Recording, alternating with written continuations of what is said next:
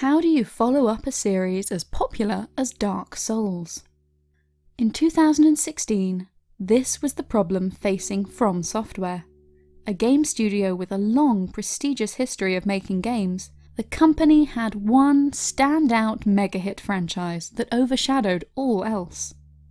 Their game library was eclectic and varied, but Dark Souls was the crown jewel. It was the series that everyone cared the most about. So, as they wrapped up Dark Souls 3 and completed this world famous trilogy, what could they possibly do next? From Software's president, superstar auteur game maker Hidetaka Miyazaki had a plan. The company's future after Dark Souls, he decided, hinged on bringing back what he loved about From Software's games before Dark Souls. It was time for a nostalgia trip. This is the story of Sekiro Shadows Die Twice, and how From Software looked to their past in order to chart their future.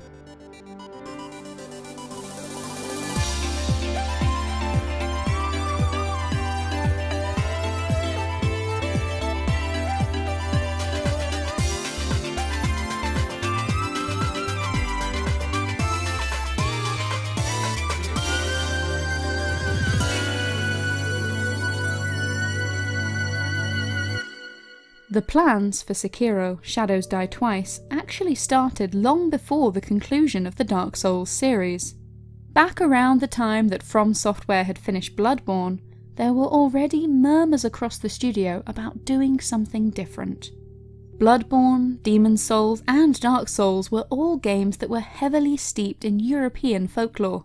They had come from director Hidetaka Miyazaki's love of Western architecture and aesthetics but after four games set in this part of the world, it felt like time to try something new. The solution came from earlier games that the company had produced. Back before Dark Souls, From Software had made games like Otogi and Ninja Blade, which were fast paced action games set in a more traditional Japanese setting. This felt like a nice way to use the strengths that the studio had developed while working on Dark Souls.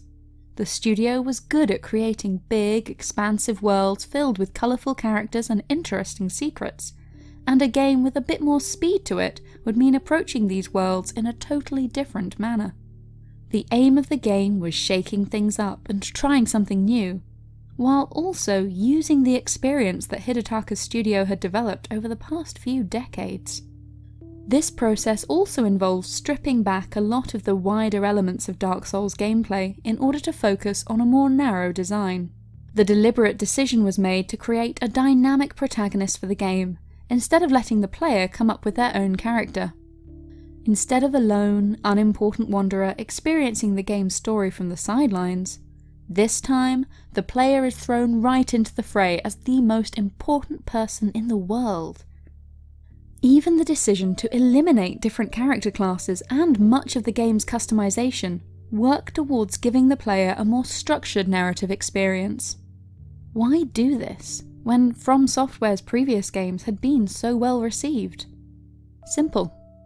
To try something new. What was the point of getting stuck in a rut and making the same game over and over? To this end, Hidetaka also made a conscious effort to stay away from writing or editing the game's dialogue. He felt that his quirky style of writing was a little too familiar to his company's fans, so he wanted to give other members of the team a chance to shine. Sekiro shouldn't just feel like yet another Souls game, it needed to feel like a unique experience in its own right. This being the case, Sekiro wasn't the only project that Hidetaka elected to work on. He was used to pulling double duty and creating two games at once, such as helming work on Bloodborne and Dark Souls 3 at the same time. But alongside Sekiro, he also chose to make something totally different Déraciné, a non violent virtual reality adventure game. This too was a throwback to earlier From Software games. One in particular, Echo Knight, was one of From Software's earliest games, and instead of being about fighting, was about mystery and exploration. So, Hidetaka worked on both Déraciné and Sekiro at the same time, and he felt that these two very different games complemented each other perfectly. Sekiro, being very much in the same gory, violent vein as Dark Souls, could be overwhelming. After a long time spent in this creative world, Hidetaka would get exhausted. When this happened, he simply picked himself up, moved down the hall, went into a room in a different part of the studio, and worked on Déraciné instead, allowing the game's calm, relaxing environment to wash away all his tension. But, of course, he could end up staying in this peaceful world for too long as well. Whenever he felt like he'd indulged himself too much and he needed to leave this sleepy game behind, Hidetaka would move back to working on Sekiro. The typical process for making a game at From Software is very well established. First, the team of creators put together their design ideas for the general tone and style of a game, and then they shop it around to publishers to see who might want to work with them in bringing it to customers. This time around, Activision ended up partnering with From Software, and Hidetaka found their unique perspectives and talents very appealing.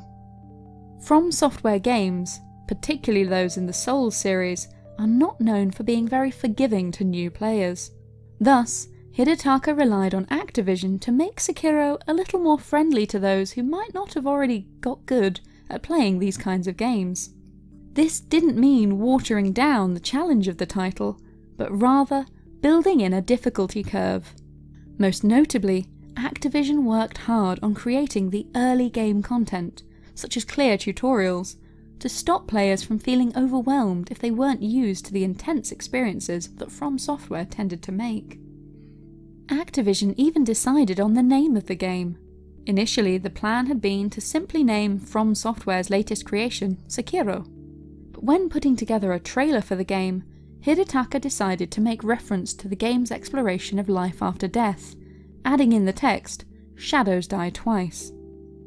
The team at Activision loved this, and after some persuading, convinced From Software to officially add it to the game's title. The end of development on Sekiro Shadows Die Twice came when its deadline rolled around. There was no single moment when Hidetaka sat back and announced that he was finished. As a perfectionist, Hidetaka knows that he'd keep tinkering and polishing all of his games forever if given the chance. Thus, he sets his projects very clear, specific deadlines. Once the deadline is reached, the game is finished, even if he feels like there's more he could add. Because, Ultimately, there's always more that Hidetaka would like to add. Thus, at the end of three years of development, Sekiro Shadows Die Twice was completed, and Hidetaka was pleased with it. This wasn't a Dark Souls game. It wasn't completely a spiritual successor to any of the previous Japanese folklore inspired titles that From Software had made in the past. It was its own unique thing, and that made Hidetaka happy. The moral of the story is that sometimes it's important to try something new. You can become safe and complacent in your comfort zone, doing the same thing over and over. While this can be very easy, it's often hard to learn when you're always repeating yourself. Try something new. Learn a new skill, set a different kind of goal, and work towards developing in a different way. Don't forget all that you've already learned, but bring these skills with you as you venture into the unknown. You might not always succeed. In fact, if you're doing this right, you'll definitely fail sometime.